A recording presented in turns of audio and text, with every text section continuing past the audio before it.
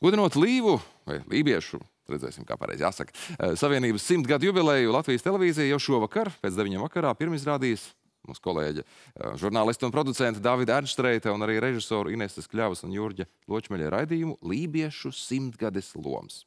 Tas vēstīs par lībiešu tautas valodu, kultūru un spēju saglabāt dzīvu savu nacionālo identitāti gadsimta griežos. Bet vairāk pastāstīs pats Dāvids Cenšteits. Labrīt! Labrīt! Juvā omaga man jums jāsaka. Jo es kaut gribēju iesākt ar Līvud Aigas Cadalom. Jā, jā tas, tas būtu mūsu jā, titula nosaukums. Bet tas, tā, tas pats, kas pateikt, sveiki, man sauc Dāvis, jā? Tikpat tā vienkārši īzī, kā saka latvieši, vai, vai tomēr? Tā... Man varbūt negluži tik vienkārši, bet, nu jā, šajā līmenī ir mans lībiešu valodas zināšanas, bet, bet, bet jāteic godīgi, nedaudz vairāk arī ne. Uh, bet uh, nu jā, šī man ir tāda, man liekas, tāda ļoti personiska un profesionāla iespēja iekāpt uh, sev ļoti būtiskā dzīves daļā un apvienojot profesionālo ar, ar tādu personisko. Um... Nu, mēs kaut ko zinām, kaut ko atceramies. Atgādini, lūdzu, visiem, un cik nu, tu vari un gribi arī mūsu skatītājiem, kāda tad ir tā, tā tiešā saikne, piederība lībiešu saknēm. Jā? Es nāku vienkārši no dzimtas, kas nāk no, no Miķeļa torņa. Uh, mans teicis, tur ir dzimis. Uh, pavadījis mans vectēvs. Tur ir, nu, man grūti par to runāt, kas liekas tik pašsaprotami. Nu, es nāku no vienas no, no šīm, šīm dzimtām. Un, un, un kāpēc personiski nu, nu, nu arī šī darba tapšanā? Es esmu pateicīgs, protams, gan, gan televīzijai, gan lībiešiem par iespēju šo, šo darbu darīt. Mums, mums kopā, kā kopienai, izlausties varbūt ēterā un, un par sevi atgādināt, bet arī tīri personiski tie, tie mirkļi, tu man prasīji par piederību. Nu, man, man, man tapšanas procesā bija pāris tādi brīži, piemēram, uh, Igaunijas uh, kino dokumentālistu fiksētajos 1939. gada kadros.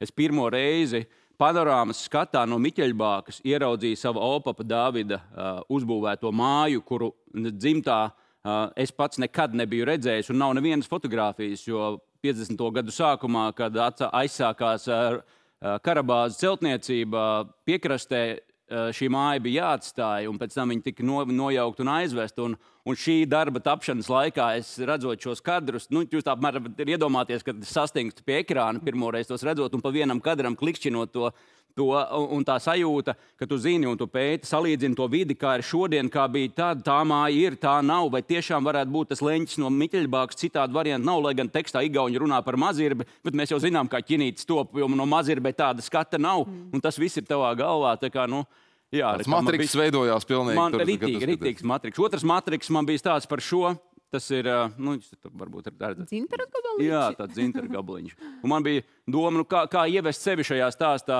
cilvēkam padarīt sevi šai, šajā raidījumā par piederīgu. Un, un man likās, ka, nu, jā, vislabākā lieta būtu līviešiem simtgadus pasākumā, protams, dāvāt žāvētas būtis, lestis, kā mēs sakam, bet, nu, kur tu pavasarī viņas dabūs, labi, tad ir dzintars tev varbūt no, no, no, no mīļās jūras. Un, un, bet, nu, kā, kā, kā lai cilvēks notic, ka tas nav teāters, vai ne?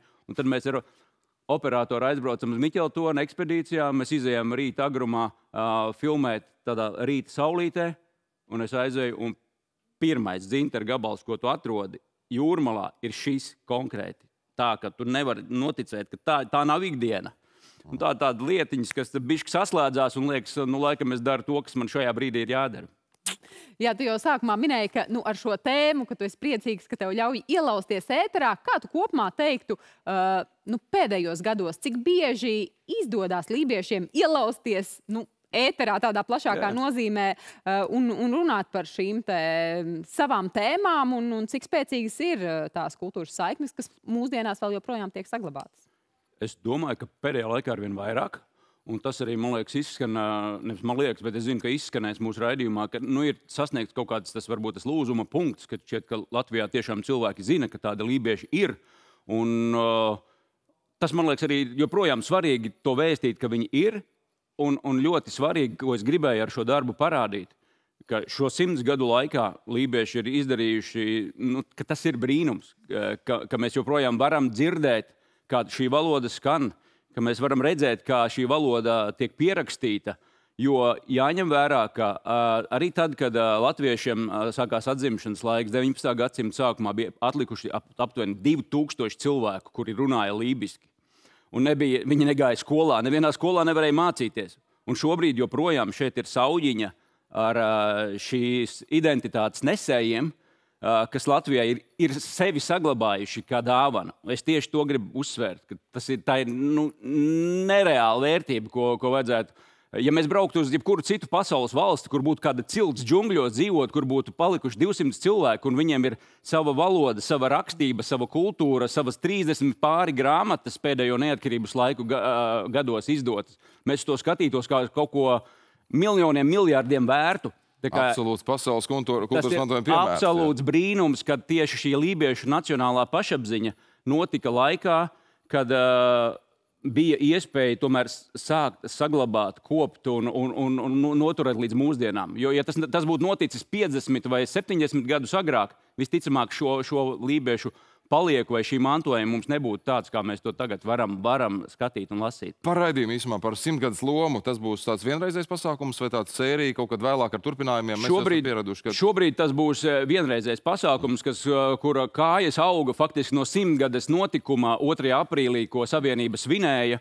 Un, un tā tās radošā koncepcija tapa gaitā, un šobrīd faktiski tas transformējies stāsts par, no, no, par to, ka vairāk mēs gribam izstāstīt to simtgades stāstu, nekā radīt, rādīt to savu simtgades pasākumu ar domu tādu, ka tas būtu vērtīgāk plašākai Latvijas sabiedrībai. Bet nē, šis ir vienreizējs projekts, simtgades stāstu. Es ceru, ka mēs diezgan pilnvērtīgi esam šajā projektā izstāstījuši, bet ir āķis atgriezties un ļoti, ļoti daudz foršu mazu detaļu, kuram, kuram kuram vērts pieķerties, pieķerties vēlreiz, ja rūpīgāk. Bet, bet šai, šajā reizē es, es noteikti gribu pateikt milzīgi paldies, protams, Latvijai, Lībiešiem un, un savai radošai komandai, kas ir vadošais operators Jānis Saļms, ar kuriem mēs daudz kopā filmējām, gan, gan šajā pavasarī, gan iepriekš jau iekrātos materiālus, nezinot, ka šāds projekts būs. Uh, protams, montāžas režisoriem Inesē Kļavai, Jurģim Ločmelim un uh, Jānim Blankam, kurš savu vakardienas dzimšanas dienu pavadīja pie datora. Man tādā aizdomā arī šo nakti, ka vēl, vēl dažas labas akcentus liekot. Nu jā, jo ēters jau tikai šovakar 9 un 10 minūtes. Absolūts svaigu mēs tagad pirmizrādi varēsim pieredzēt vakarā. Nu tā ir. Paldies, David, par stāstu paldies. un par, nu jā, arī par tavu ikdienas to darbu. Man tiešām uzrunāja tās tā frāzīt par to saslēgšanos ar Igauņu video, kur tu jā, nu, pamanīji no savas dzīves. Par ikdienas darbiem piedodiet vispārējie, kuriem 27. aprīlis bija tas datums, kad dāvs atgriežas pār pārējos ikdienas darbos. Tā kā šis datums ir sasniegts, es esmu pieejams. paldies! Paldies, paldies, paldies arī par ielaušanos ēterā pie mums šorīt. Dāvis Zēns teica, jā, un šovakar pēc pus, pēc deviņiem, deviņos desmit, gan LTV1, gan arī Replay LV skatām tātad šī lībiešu simtgades lomas jaunā